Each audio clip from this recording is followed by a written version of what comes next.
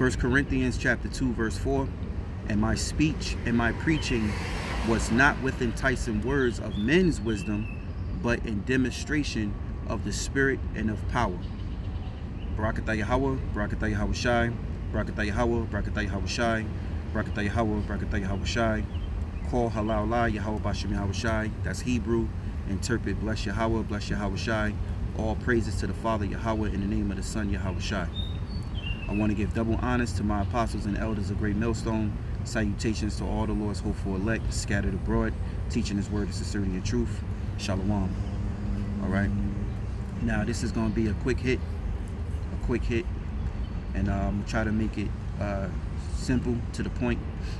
You know, I was having conversation, and uh, this scripture came in mind, and this is Apostle Paul, all right, writings to the Church of Corinth, and he says, "And my speech and my preaching was not with enticing words of men's wisdom, but in demonstration of the Spirit and of power." all right and I speak volumes because what apostle paul is saying that he said his speech and his preaching was not with enticing words of men's wisdom all right now someone may think that you know this this word enticing here is a bad word or you know a word that you know sort of you know uh, not good. But enticing simply means to lure in okay? You know and um also i want to touch on men's wisdom. So let's start with enticing all right? Let me get a quick quick definition for enticing. You know because it's not hard man. These this it's not hard to understand these scriptures if you just read and apply your uh, spirit to it if the lord's willing all right? It says something that is enticing is extremely attractive and make and makes one's want to get it or to become involved with it. All right? So enticing means what? Attractive? It means to to lure? All right? It means you know it makes someone that wants to get involved with it. All right? Now now paul he said we know uh, we, we know the fear of the lord so we persuade men okay and how do you persuade men is by enticing them with the word of Yahweh, BaHaSham Yahweh Shai, not of men's wisdom. Okay, so this word enticing is not a bad word, man. Jake, Jake, man. Anyway, it says, and my speech and my preaching was not with enticing words of men's wisdom. Because what wisdom Paul came in, it was the it was the, the wisdom of Yahweh BaHaSham Yahweh Shai. Apostle Paul, okay, was one of the great teachers, man. He was taught by Yahawashi. All right, he was knocked off the horse, and Yahawashi told him, "I can't prick against the prick. I can't prick against the prick, the bricks." All right, because Apostle Paul, you know, in his ignorance, he was persecuting the Lord's church, the Lord's men. All right, he was playing the uh, role of the Roman, the cop, okay, working for the system. All right, but Apostle Paul repented. All right, and he stopped working for the system and he used the system in his behalf and benefit toward Yahweh BaHaSham Yahweh Shai. Okay? So let me read one more time. It says, And my speech and my preaching was not with enticing words of men's wisdom. Now, men's wisdom, you know, is uh, you know, wisdom that you learn, okay, while you out in the street. You know, when you're a child and when you become an adult, you retain some type of wisdom. You should have all right? Whether you played outside you learn street wisdom you was on the street you know some jakes learn wisdom when they go to jail there's jail wisdom certain way how to move you know okay? You got wisdom and certain men that are warriors that that love to fight you know? They may not be a professional fighter but they're a street fighter you know? They'll learn this and you know all the experience because that's what wisdom is experience and all the experience and practice that they had while fighting, they retain some wisdom behind it. All right, how to take you down, how to punch you, fake fake a punch or whatever. All right, you know, men's wisdom is uh, philosophies. All right, commandments of men. Okay, things that man creates. But wisdom itself is beautiful because it shows you the power in our Lord, man. It shows you the power in Yahweh BaHaSham Yahweh Shai. Because there's wisdom in every living being okay every creature every every element that the most high create has wisdom because it does something okay You know, when you check out the trees, the trees have wisdom. All right, plants have wisdom. Uh, animals have wisdom. Fowls, the, the birds, they have wisdom. All right, and man himself, okay, has wisdom, and the ultimate wisdom is is the knowledge and wisdom, the knowledge and understanding, which which is also the wisdom that comes from Yahweh BaHaSham Yahweh Shai, that was given to the Israelites, in particular the elect. So really, the ultimate wisdom of the world, all right, is the knowledge and understanding and the wisdom that the Lord gives to his elect, all right, on this side. Because eventually in the kingdom, all Israel gonna have that greater wisdom. You know, we was the, the nation chosen by the Heavenly Father. Okay? So it says, and my speech and my preaching was not with enticing words of men's wisdom, but in demonstration of spirit and of power.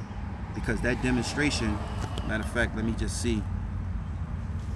Bear with me. I want to see something.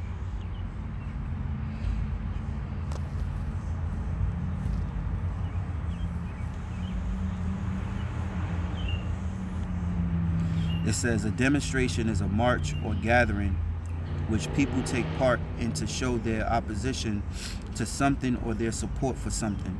Because Paul's demonstration came by the power of Yahweh BaHaSham Yahweh Shai, all right, the power in the spirit.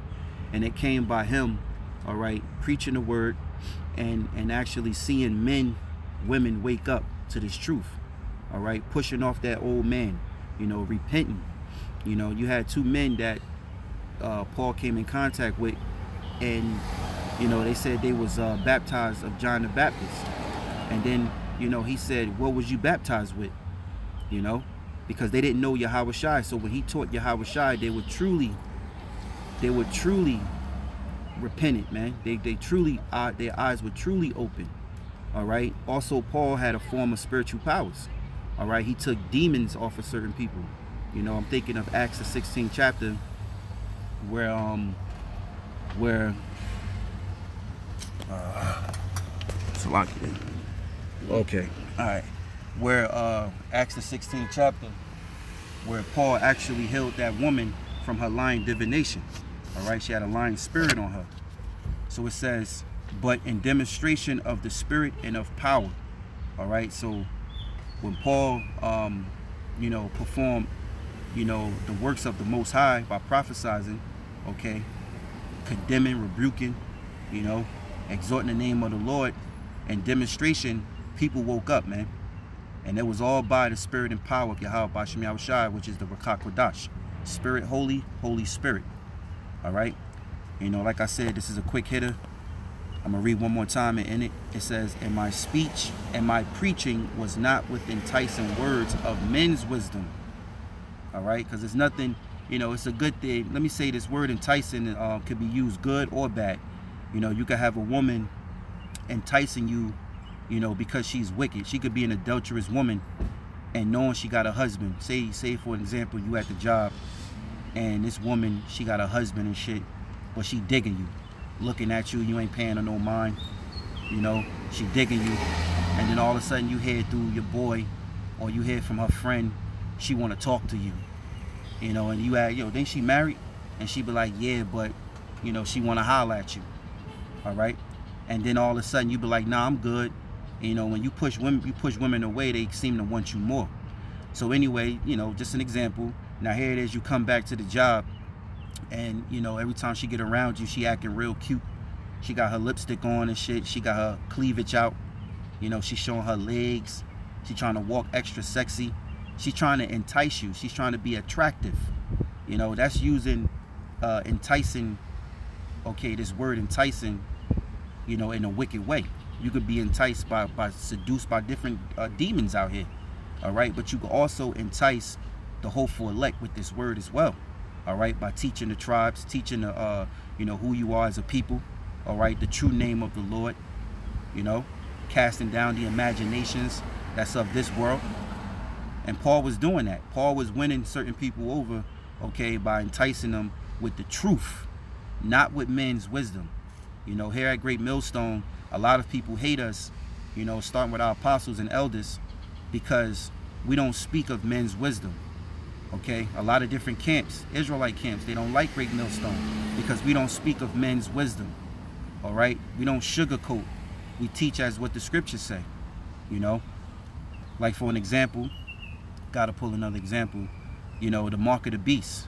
Okay? You got people who have a congregation, well, you got Israelite camps that has a congregation and a strong following. And here it is, they don't want to, you know, discourage anybody or have their followers leave from them, so they teach lies. Okay? They teach, you know, fulfill good doctrines. You know, go along to get along doctrines. When that ain't what the scripture's about. The Lord is about setting a division. Okay? The Lord is about setting things straight, speaking truth. All right? The truth hurts. And if the truth uh if the truth is not for you, then then guess what? It's not for you. It's for those that's, that's all of the truth. All right? So, you know, you know, like I said, and my uh, as Paul said, excuse me, and my speech and my preaching was not with enticing words of men's wisdom. All right, we don't speak of men's wisdom here, so that's why when we prophesize, you know, one guy told me, he said, I want to hear what you got to say. What you mean you want to hear what I got to say? I'm telling you what the words say because it's not about what I say. Okay, it's about what I'm saying through the word. If I'm not speaking scripture, then I'm not speaking truth, man. Okay? So that's why you have to speak of Yahweh BaHaSham all right, and of the Rawchaa Qadash, the Holy Spirit. Spirit, Holy, Holy Spirit. All right? And only way that could be done if Yahweh BaHaSham Yahawashi is dealing, all right, with you. All right, so it's not of men's wisdom. Uh, also, precept scripture say, uh, you know, Israel love love to have it so. They love to be lied to, and that's why you got certain camps out here that has this great uh, member, you know, thousands member following, but hey, their doctrine is all screwed up. Esau can make it. The RFID chip is not the mark of the beast. Know, meanwhile, you can see it. You know, it's evident. It's, it's clear as day, man. You know, um, you know, and all sorts of other crazy doctrines. You know, the massive of the Israelites, the two thirds, you know, they side with Esau and Christianity, man. You know, you got vocab running around with sellout jakes, man, that hate this truth, that despise this truth, man. So, you know, like I said, this is a quick hitter. Let me make it short. I hope that this lesson was edifying. I'll read it one more time, 1 Corinthians 2 and 4.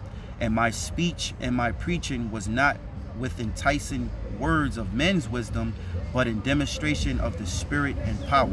So with that, I want to give all praises to Yahweh, Bashak Yahawashi, double honor. Double honors to the apostles and elders of Great Millstone. Salutations to the Lord's elect. Shalom. Goddamn demons, boy.